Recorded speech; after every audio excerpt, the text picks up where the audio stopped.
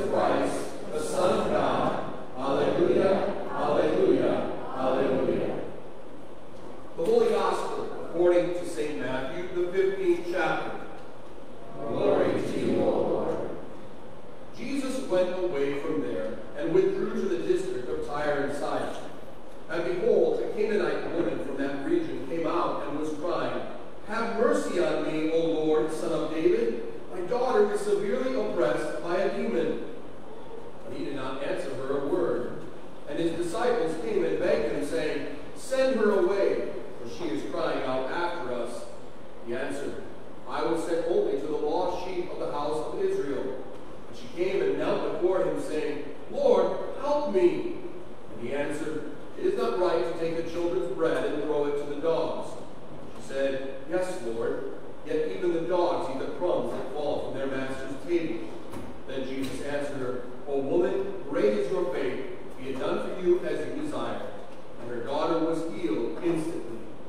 Is the gospel of the Lord. Praise to you, O Christ. But you please be seated for the hymn, and please note that the final verse is the Trinitarian verse,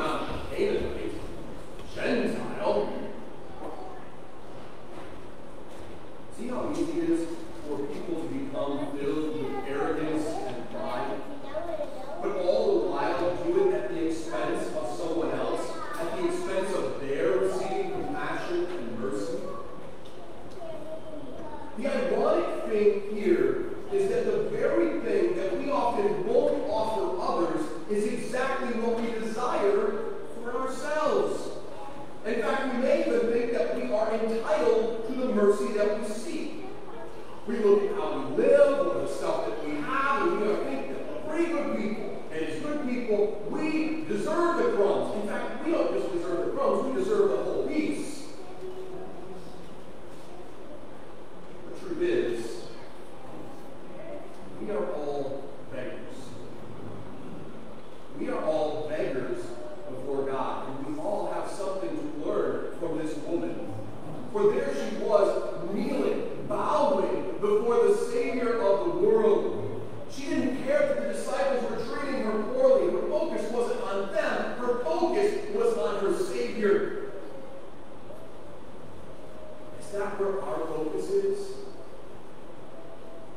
Do we have our eyes fixed on Jesus as he graciously offers us crumbs of mercy as fellow Gentiles? For that is what we are as well. Or are we more interested in comparing ourselves to others, puffing ourselves up with pride, and making ourselves look good at others' expense? If that is the case. We have some repentance to do. As we face a world right now where we are so quick to vilify others as the enemy, we all need to take a moment and have a gut check. No matter our political party or our race or anything of the sort makes us better than someone else. We are all, and I mean all, deserving of death and damnation. We are all sinners, and we all need to confess those sins. And to say otherwise is to reject the very one who offers crumbs of mercy. Being a Christian is a life of humble begging before the Almighty God. It is coming to terms with the fact that we are nothing without Jesus. Everything